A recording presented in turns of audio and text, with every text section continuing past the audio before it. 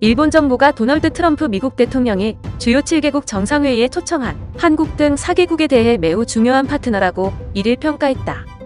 일본 정부 대변인인 스가 요시히데 관방장관은 이날 오전 정례 기자회견에서 트럼프 대통령이 9월 회의를 러시아, 한국, 호주, 인도를 초청해 확대하겠다고 했는데 일본으로선 이들 국가가 기본적 가치관을 공유하는 나라이냐는 질문에 이같이 답변했다.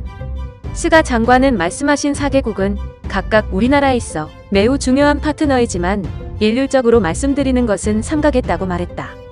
그는 G7을 확대한다는 방향을 일본 정부로서 어떻게 생각하냐는 질문에는 올해 G7 정상회의 일정과 개최 형태에 대해서는 의장국인 미국이 현재 검토 중인 것으로 알고 있다면서 현 시점에선 보도에 대해 논평을 삼가겠다며 구체적인 언급을 피했다. 스가 장관은 트럼프 대통령의 세계보건기구 탈퇴 언급에 대해서는 신종 코로나 바이러스 감염증이 세계적으로 확산하는 가운데 이번과 같이 세계에 중대한 영향을 미치는 감염증에 대해서는 국제사회가 하나가 되어 대책을 강구할 필요가 있다며 원론적인 입장을 밝혔다.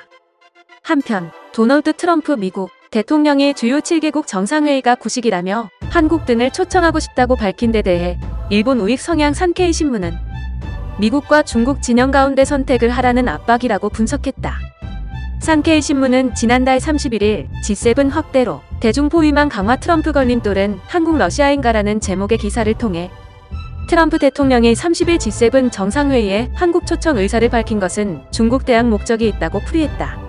신문은 한국 이외에 초청을 받은 호주는 자국 내 반중 감정으로 대중관계 재검토를 진행하고 있으며 인도는 국경 분쟁 등으로 중국과 대립하고 있어 선진국 클럽에 들어가 중국 견제를 하는 게 국익에 부합하다고 분석했다.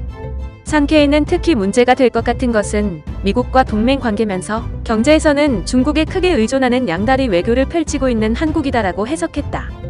신문은 한국의 문재인 정권은 중국과 북한의 위협을 감시하는 한미일 3개국 협력에도 소극적이다.